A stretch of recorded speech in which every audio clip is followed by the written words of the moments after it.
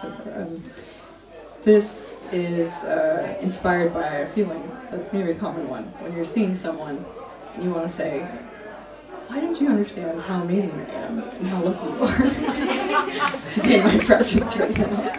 So this kind of fantasy world where I have the, the, you know, the confidence to say this, not on stage. Okay. I have to channel the confidence.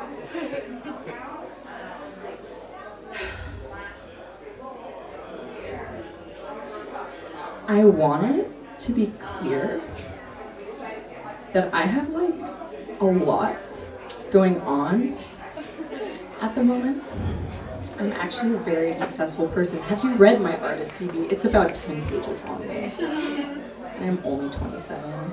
Can you imagine what have done by the time I'm 35? Have you thought that far ahead about your life? No. Didn't think so.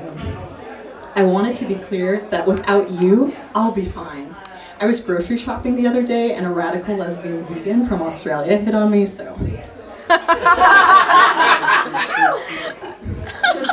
Plus, last night I was buying some cannoli. Well, I bought you a cannoli and I bought me a cannoli, but you didn't respond to my text about hanging out, so I ate all the cannoli by myself. But I was buying the cannoli, and the man selling me the cannoli told me I was beautiful and asked if we could hang out sometime.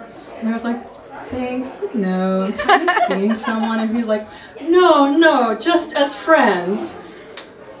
And I was like, yeah, just friends. I want to be clear to you and to everyone in this room that you're never going to be just friends with me. You might be sexy, but I am a woman and I have perfect teeth. I've never had braces. You can ask my dentist, Dr. Bayless. He's known me since I was a child.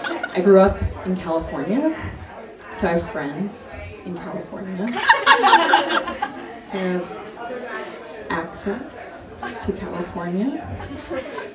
And I might take you to California, but you'll have to work for it. Mm-hmm. Work really hard for California.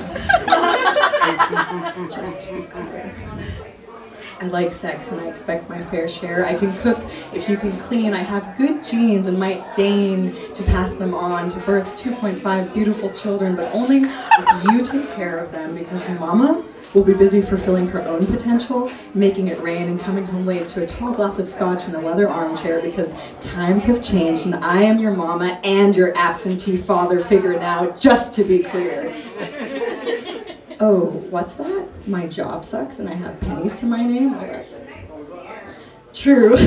But you know what? I'm working on it. I have dreams, and I know that my housing situation isn't the most ideal. Like, right now, I'm carrying a suitcase back and forth across Berlin to avoid staying at home with my now ex boyfriend, but like, at least I have my own suitcase.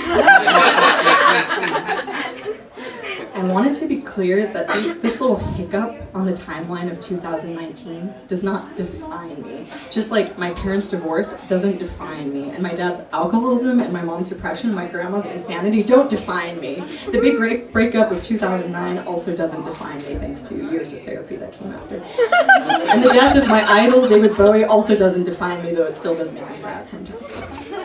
The thing about hardship and tragedy and pulling yourself up by your bootstraps, kid, because this is your home now, Oliver, and you only get this much porridge, is that it all makes you stronger. And I'm like so fucking strong now, just to be clear. I could lift a car to save a baby. I can punch an assailant on the street. I can make my voice really, really loud. I am so I once was using power tools and shot myself in the finger with a nail gun. And then I took a pair of pliers and I pulled out the nail from my finger because no one was there. I could not cry or stop to think about it. I could not drive to the hospital, so I pulled out the nail from my finger and it hurt like hell and I bled all over the studio and then I washed the wound and wrapped it in paper towels and went to a meeting but didn't tell anyone there what had happened. Just to be clear about who you are dealing with. My name is Demi Elizabeth Anter and I don't need you to like me, but Jesus fucking Christ, if you did like me like I like you,